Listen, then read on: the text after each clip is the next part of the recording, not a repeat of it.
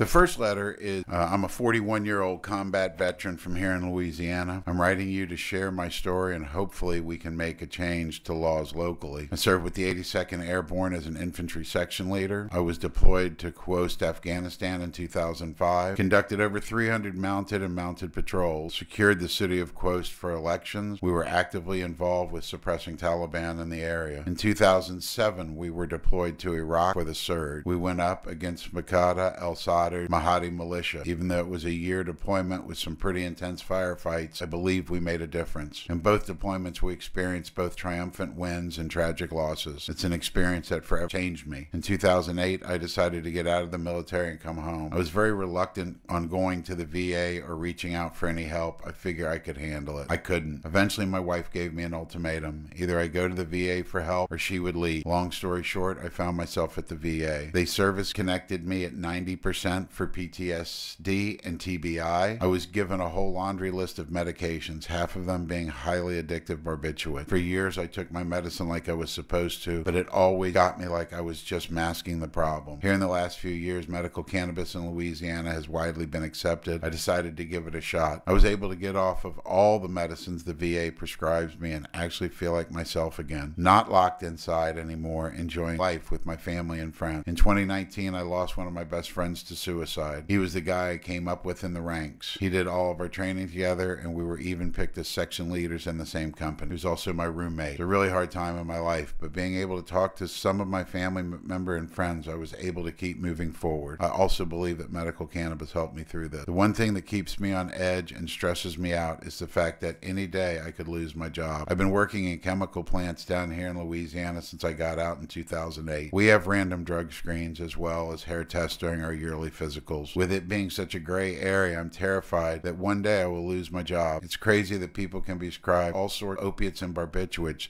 just as long as they have a prescription, they are good. I'm able to quit using all of these pharmaceutical drugs and just use medical cannabis, but can lose my job for it. I believe better testing is one of the answers to this problem.